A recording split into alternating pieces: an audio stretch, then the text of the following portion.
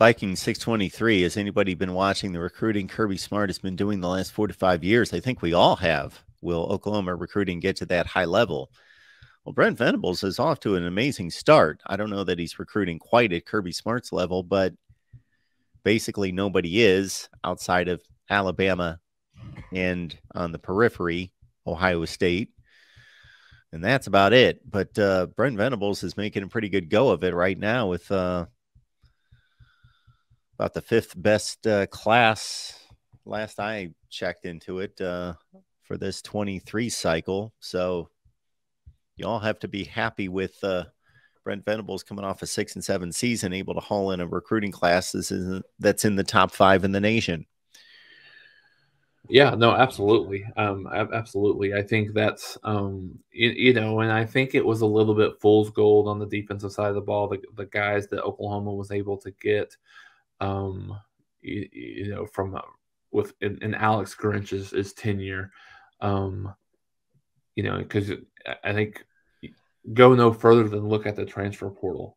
A lot of the defensive guys that Oklahoma had processed, they're either, you know, they're not getting the offers that they're that they're wanting, or they've got two or three guys that are going to Texas State.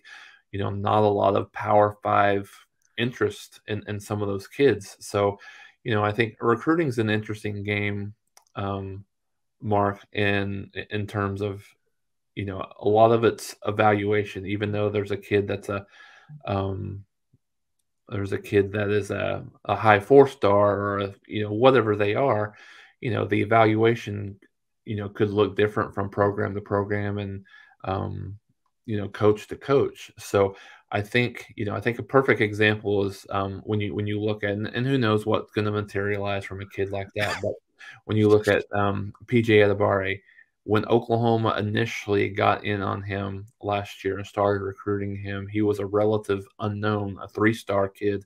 Um, at that point, wasn't really high in the rankings, but then since then, just just had a, a monster, monster senior year. And I think before it's all said and done, he's going to be a guy that could potentially end up being the number one defensive end in the country from a recruiting perspective.